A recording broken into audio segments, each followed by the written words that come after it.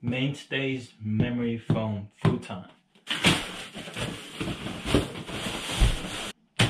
We got a little zipper here.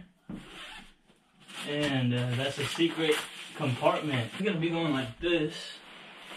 Like so. So the straight parts, the ones that are not slanted like this, these are gonna be going in the middle. So when doing this, I'm supposed to be forcing it together.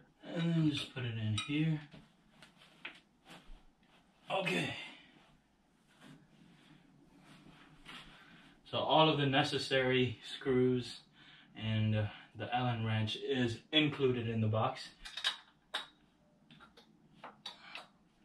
They're gonna be going like this. It's gonna face outwards like that, not inwards like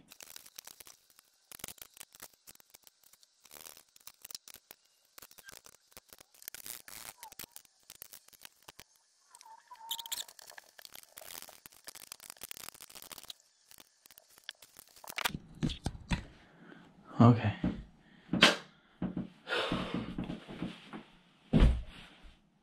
Finally finished up with this. It didn't take that long. But I did break a sweat. And that's not because this was hard or anything. There's a little thread coming down here.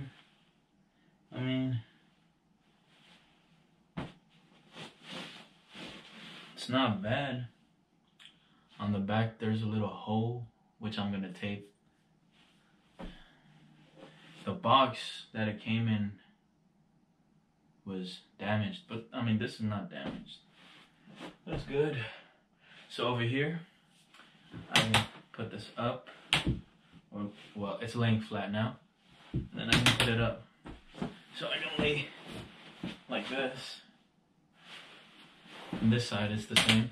It comes up like that, so it looks more like a couch, right? So when you hear two clicks, that's when you're able to lay it flat. Two, and like so.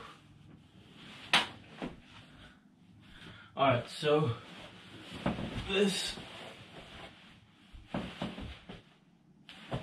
I'm five seven ish and uh, I fit in here pretty comfortably. This is how I would be sleeping. I can sleep on it. I can crash. 72 inches, that's 6 feet. I'm not 6 feet. 72 inches, right? How many feet is 72 inches? That would be 6 feet. Six feet. I'm six feet. See, look. Boom. I guess I'm six feet. I'm happy with it. It's a suede uh, material.